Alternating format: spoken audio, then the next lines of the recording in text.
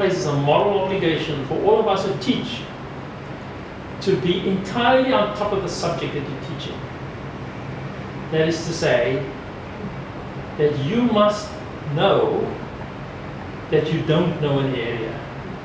And you must better get on top of it very quickly.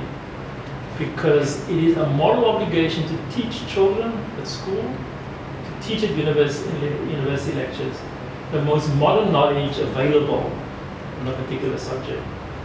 And what I like to do today is teach you the most modern knowledge available on why we have different skin colors.